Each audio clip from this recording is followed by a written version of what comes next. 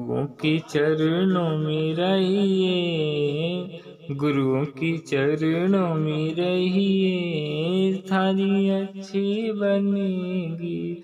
गुरुओं की चरणों में रहिए थारी अच्छी बनेगी। कागा से तो हंस बनावे कागा से तो हंस बनावे। जीवन का तो राह दिखावे। प्रभु से वो ही मिलवाएँगे। प्रभु से वो ही मिलवाएँगे।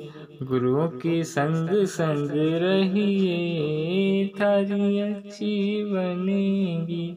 गुरु के संग संग रहिए, थारी अच्छी बनेगी। आपको गुरु पूर्णिमा की हार्दिक शुभकामनाएँ।